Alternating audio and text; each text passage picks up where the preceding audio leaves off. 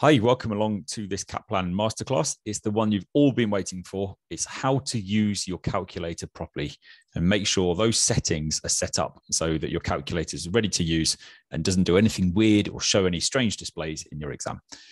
My name's Andrew Mower. I'm a tutor at Kaplan in London. Um, I get a lot of my students saying, um, "My yeah, my calculator is showing something weird, or the display setting isn't the same as it should be."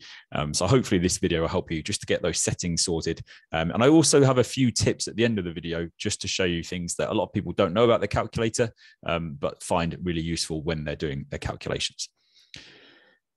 So first of all, I just want to run through um, which calculator I'm, I'm showing you, then some common issues, the ideal settings, and then, as I said, some useful tips at the end.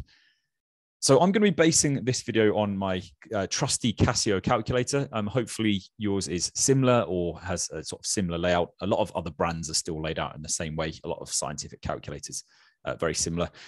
Don't know about you, but I've grown to be quite emotionally attached to my calculator. It's got me through a lot. All those exams, you've been through a lot with your calculator, so you do feel that feel that bond. Um, so here you go. I'm sharing mine with you. Um, so yeah, my my good trusty calculator, um, and hopefully you have that attachment with yours as well. Now let's have a look at some of the issues that people um, often have. Then the first one is that answers are displaying as a fraction, um, which in itself isn't a problem. But if the question is saying state your answer to two decimal places, or you need that to to put into another working, uh, that can be a bit of a pain. Um, so some people's show as a fraction. Um, what you can do is press the little S to D button, which is just above that delete key, the orange delete key on your calculator. There's that S to D button, and that switches it. What it sometimes does then, it shows something like this, which looks like 0.8, doesn't it? You think, right, the answer is 0.8. I think 8 divided by 9, 0.8. That doesn't sound quite right. And if you look just above that 8, there's a little dot, which means that that is a recurring decimal. So that's telling you it's actually 0.88888 recurring. Um, so to two decimal places, that's actually 0.89, um, which is obviously a, a, slightly different answer. And to one decimal place, it's 0.9, isn't it? So it's something like that sometimes catches people out. They, they don't like that. Is it's not all that useful in an exam to have a recurring decimal. Um, and the third issue that often happens is that it, it does this um, scientific mode. So rather than showing this as a, a decimal, um, it shows you something like 5 times 10 to the power of minus 3, um, which again isn't all that helpful. Um, so these settings I'm about to show you will fix those um, and make sure that everything is nice and just a normal decimal that you can then use in your answers. So to get the um, the ideal settings, the first thing I do is just press mode to start with at the top there that I've circled, uh, and then one. So that the you press mode and it'll open up the settings you can see there. Then if you press one, that just makes sure it's not in any sort of stat mode or anything strange. Um, so just in nice normal calculator settings. If you then do shift uh, and then mode, so that it goes to this setup, it then shows this screen. Um, if you then press eight, uh, which is norm, and then it will say one or two, and if you press two, that then eliminates that um, scientific mode where it's doing the whole um, times 10 to the power of whatever. Um, so gets rid of that. That fixes that problem. Finally, um, if you want to do it so it's not showing you fractions or recurring decimals, if you do shift mode again to get this screen and then press one, so that's that math mode, and then it will say again one or two. And if you press two, uh, that will then be, for me, the ideal setting. Um, so you can still use the fraction button, which I'll show you in a, in a minute, but um, it all your answers will then just be displayed as normal decimals, uh, which you can use in your answers. Um, if you do want it to show um, fractions, I know some people still like that. If you do that that last setting, shift plus mode plus one, and you just press one at the end instead of two, uh, that will keep it as a fraction in your answers if you prefer that.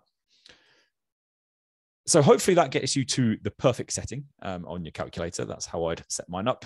Um, I've got three tips now just to show you things on your calculator that you, you may not know. Um, firstly, the fraction button, um, just I've circled there, allows you to type in um, fractions as I've shown you on the screen, uh, which is great for some of these more complicated formulae like we, we teach in some subjects at Kaplan.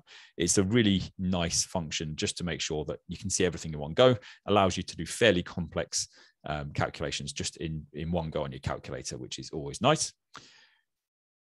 Um, there's then the percentage button. Now, if you press shift at the top left and then the left bracket that I've circled there, it is on my calculator. Again, maybe slightly different depending on the model you've got um, or which brand of calculator you use, but you can use the percentage button. And a lot of people don't do that. If you're typing in, if you want to do 50% of 200, like I've done there, a lot of people convert that to a decimal. So they'll say, right, 50%, that's 0.5. So I'll just type in 0.5 times 200, which obviously will still give you 100, still the same answer, no problem. But it's when we get down into the, the more complicated percentages. So um, there's one I, I do that's 0.125%. Um, you have to use of something in, in one question we do. And turning 0.125% into a decimal is then a bit tricky. I think, right, how many noughts is that? And what a lot of students do is they put in 0.0125, which which actually is 1.25%. So it's incorrect. Um, so rather than having that and rather having to convert things into decimals and use your fingers to how many to count how many zeros you need and all that, just use the percentage button. Just type it in as a percentage, like you need to in the question or whatever it is. Um, so I'm a big fan of that percentage button, and it just works um, exactly the same as you'd expect in Excel or whatever. Um, so yeah, I'd I'd use that where possible. Um, the third one's maybe a little bit more, maybe a little bit more advanced. You may not have heard of this one. It's is this you can store numbers in your calculator, um, which does work if you're doing um, a, a, process or if there's something that's a bit more complicated. You need to um, save some numbers to use later. And I really like this. So in, in that that middle um, screen there, I got the answer as 100. Um, if you then press Shift at the top left, and then you might see I've just in the bottom circle there. I've got uh, it says stow. Um, it's RCL, and above that it says stow. So what that is, it's store. So you do shift and then store, and then you can choose one of those letters. Um, now you might just again be able to see there in the the bottom circle. There's a little red letter A, but there are all sorts of letters on your calculator: A, B, C, D, E, F. Uh, you've then got X, Y, and M, um, all in these red letters that you can you can see there. So if you do shift and then stow and then pick a letter it will allocate the number that you've got on your screen um, to a letter. So I've just allocated that 100 to letter A. What you can then do, if you press alpha, which is um, also circled at the, the top of the, um, of the calculator there, in red letters, it says alpha. If you just press alpha A equals, it'll then say, there you go, it's 100. And you can use that letter. So I could do alpha A times five equals, and that'll tell me it's 500. Um, so you can um, you can bring back those letters. So if you've got a particularly complicated um, set of calculations going on, you could do one bit, save it as A, do the next bit, save it as B, do the next bit, save it as C. And then at the end, you might have to do, right, okay, I'm going to now going to do five times A plus three lots of B divided by C, and that'll give me my answer. Um, so quite a nice thing if you are doing the more complex calculations.